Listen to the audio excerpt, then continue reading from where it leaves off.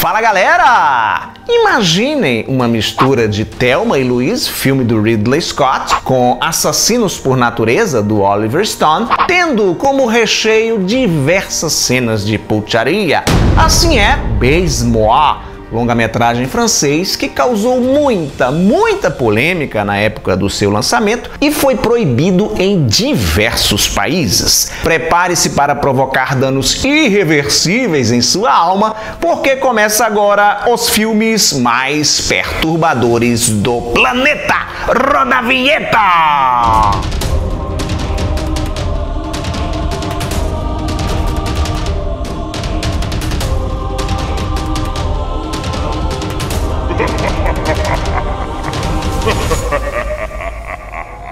Austrália, Espanha, Nova Zelândia, Reino Unido são alguns dos países onde Moa passou sérios perrengues para conseguir ser exibido. No Canadá, o longa também teve problemas com a censura, só que por lá rolou um troço curioso. O filme foi banido porque foi considerado muito pornográfico. A distribuidora então resolveu pedir uma classificação para filme adulto. Acatou a decisão do órgão regulamentador, decidiu exibir a obra somente em salas especiais, cinemas destinados a esse tipo de produção. E a autorização também foi negada, porque Besmoa foi considerado violento demais para um filme pornô. A maior surpresa, no entanto, veio da França, seu país de origem.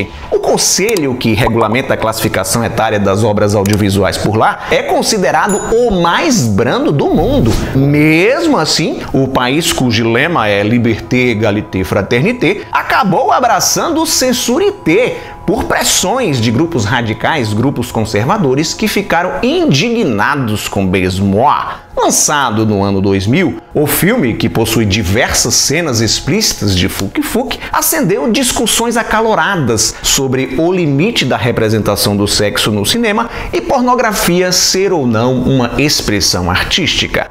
Dirigido pela escritora feminista Virginie Despont e pela atriz pornô Coralie Trinity, Besmois foi concebido com a intenção de chocar. A própria Despont confessou isso anos mais tarde. O filme é adaptação do livro homônimo escrito por ela, publicado em 1994. O que a autora não esperava era causar um enorme furor, uma comoção moral em seu país, a ponto de mobilizar as tropas de choque da extrema-direita. As provocações em torno de Beismois já começam com seu título, cuja tradução para o português é F***me. Nos Estados Unidos, ele foi lançado como Fuck Me, e em outros países recebeu um título até mais pesado, Rape Me, título esse condenado pelas realizadoras. A trama acompanha a vida nada fácil de duas mulheres, Manu e Nadine. Manu é uma prostituta que vive sendo maltratada por seus clientes. Certa ocasião, ela e uma amiga são sequestradas num parque, levadas para uma garagem onde são abusadas violentamente por três homens.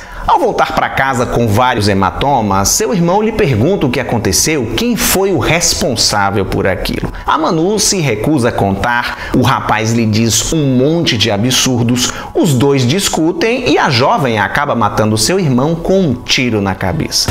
Pesado, né? E olha que até aqui não se passou nem 30 minutos de filme.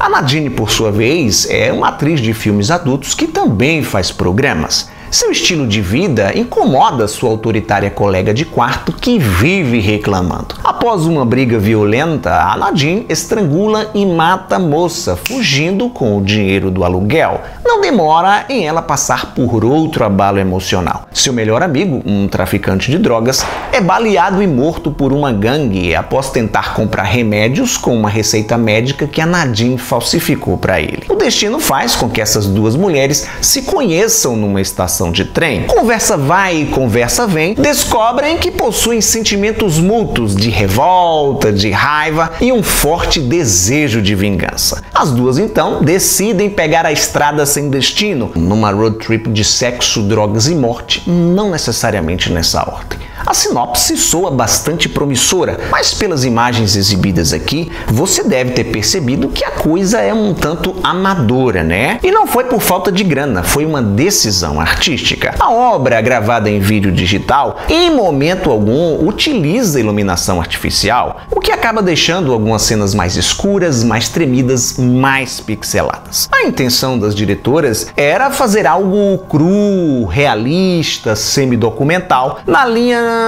Harmony Korine de fazer cinema, o roteirista de Kids e diretor de Gumo, Vida Sem Destino, que eu já comentei nesse quadro. A outra inspiração das realizadoras foi o argentino Gaspar Noé, diretor de obras controversas como Irreversible, Clímax e Enter the Void. Do Noé, a Virginie Despont e a Coraline Trinity extraíram a visceralidade, a radicalidade. Em uma cena de Beijo Moá, inclusive, uma TV exibe trechos de Seul contre tout, Sozinho contra Todos, que eu também já comentei aqui no canal. As protagonistas de Beijo Moá são interpretadas pela Karen Loncombe e a Rafaela Anderson, duas atrizes relativamente conhecidas no métier de filmes adultos naquele período, final dos 90, início dos anos 2000. A Karen Loncombe veio a falecer em 2005, aos 32 anos de idade, por conta de uma overdose. Outras figurinhas carimbadas da indústria pornô francesa também aparecem no longa. A escolha das moças faz sentido,